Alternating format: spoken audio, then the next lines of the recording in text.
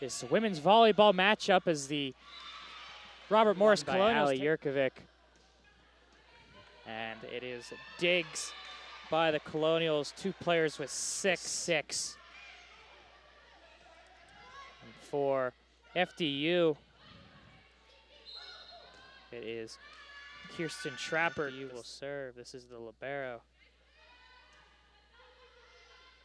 For FDU, Savannah Ray. Lord had 21 kills in their loss against Bryant. That Pretty good. leads. It'll be very interesting to see how close uh, Fairleigh Dickinson can keep up with RMU to see if they can win a set. Back row attack here. Kravonic passes that one up. Over back to Lord with the back row attack. Over to the outside, blocked away by the Colonials. They'll reset and look to try and attack.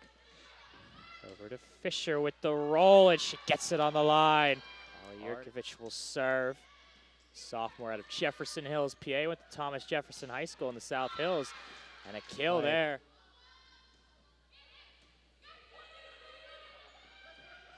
Over to passed up by Lord.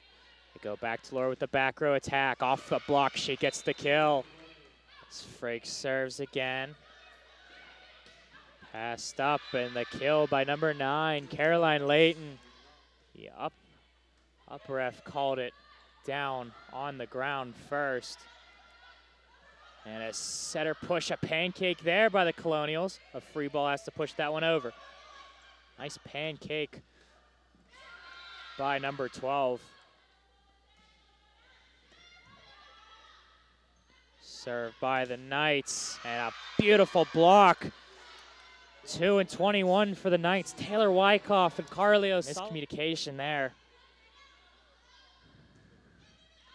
As an ace there by Kendra Harlow. She's out of Peoria, Arizona. Passed up. They go back to Ray with the back row attack. Passed up by the Colonials. Kravonic with the kill. Passed up by Yurkovich over to Fisher, and that one's passed up by the Libero. Great job there by the Knights. Over to Layton, and Layton's gonna get the kill. As Yurkovich serves a bad pass there, sent straight down. Arden Fisher